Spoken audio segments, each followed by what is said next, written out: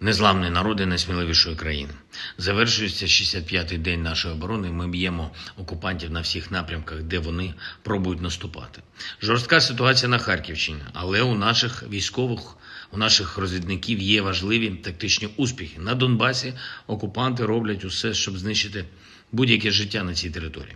Постійні жорстокі бомбардування, постійні російські удари по інфраструктурі та житловим районам свідчать про те, що Росія хоче зробити цю територію безлюдною. Тому оборона нашої землі, захист наших людей це буквально боротьба за життя для Лисичанська, Сєвєродонецька, Попасної, Краматорська, Слов'янська, Мар'їнки та всіх інших міст і громад Донбасу, які російські війська хочуть перетворити на руїни. В цій війні вирішується абсолютно все. Тільки якщо Україна вистоїть, вони будуть жити. Якщо ж російським загарбникам вдасться реалізувати їхні плани, хоча б частково, то у них ще вистачить артилерії і авіації, щоб зруйнувати до каміння увесь наш Донбас. Як вони це вже зробили з Маріуполем, в місті, яке було одним із найбільш розвинутих в регіоні, просто, просто російський концтабір посеред руїн. І порядки окупантів в тій частині Маріуполя, яку вони, на жаль, поки що контролюють, не суттєво відрізняється від того, що робили нацисти на захопленій території Сходу Європи. Але російським військовим вдається бути навіть цинічніше, ніж нацистам 80 років тому. Тодішні загарбники вони хоча б розповідали. Вони хоча б не розповідали, що це маріупольці і захисники міста самі себе обстрілювали і вбивали. Я вдячний Сполученим Штатам, президенту Байдену і Конгресу за аналог знаменитої програми Ленд-Лізу, яка дуже допоможе боротьбі проти Росії, проти російських загарбників, яка дуже допомогла боротьбі проти нацистів в часи Другої світової війни.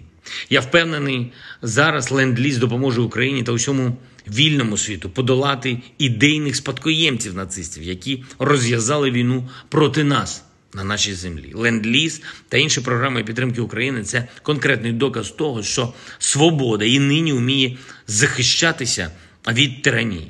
Уряд України сьогодні розглядав питання ліквідації дефіциту на ринку пального. Черги і зростання цін на заправках є в багатьох областях нашої держави. Окупанти цілеспрямовано знищують інфраструктуру для виробництва, постачання і зберігання пального. Росія також заблокувала наші порти, і тому миттєвих рішень для заповнення дефіциту немає. Але урядовці обіцяють, що протягом тижня, максимум двох, буде забезпечена така системне постачання пального в Україну, така система, яка зможе не допускати дефіциту. Після російського ракетного удару по Кременчуцькому нафтопереробному заводу це дійсно складне завдання. Але урядовці разом з постачальниками пального, разом з трейдерами і мережами мають виконати і це завдання. Як би складно не було, впевнений, виконують.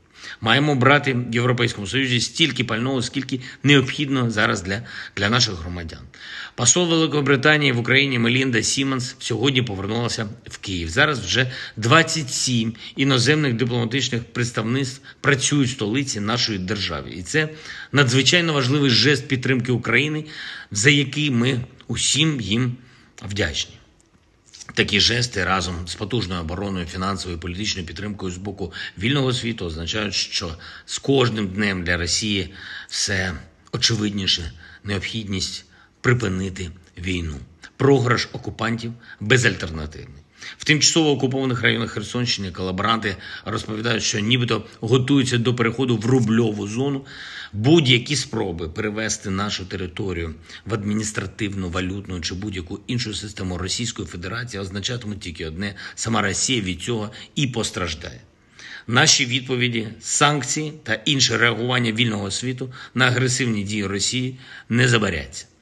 Продовжується розбір завалів у Києві, куди вчора під час візиту генсека ООН Антоніо Гутереша ударили російські ракети. Прикро, але таке свідоме і жорстоке приниження Організації Об'єднаних Націй з боку Росії залишилося без потужної відповіді. Сьогодні стало відомо, що від удару російської ракети по житловому будинку в Києві загинула журналістка, співробітниця Радіо Свобода Віра Гирич. Вона стала 23-м працівником медіа, чиє життя обірвалося внаслідок російського вторгнення за час з 24 лютого. Мої співчуття всім близьким, всім рідним і вічна пам'ять усім жертвам цієї війни. Сьогодні у білій залі героїв України в Маріїнському палаці я вручив нагороди нашим захисникам та членам родин загиблих воїнів. Ордени Золота зірка отримали Герої України, підполковник Сергій Бурковський, капітан Віталій Гураль, старший лейтенант Дмитро Дозірчий, підполковник Олександр Зугравий, полковник Дмитро Кащенко, майор Олександр Кукурба, капітан Олег Пасічник, підполковник В'ячеслав Циганков, полковник медичної служби Олександр Слісаренко, підполковник Леонід Хода, полковник Денис Чаюк і генерал-лейтенант Сергій Наєв. Також троє військовослужбовців були удостоєні орденів Золота зірка посмертна. Мав честь передати їх рідним наших героїв, сержанта Володимира Балюка, майстер-сержанта Олександра Цюпака, майора Павла Збитова. Саме завдяки нашим героям, завдяки усім, хто став на захист нашої держави, ми можемо жити, ми можемо бути зі своїми рідними у своєму домі. Слава усім нашим героям! Слава Україні!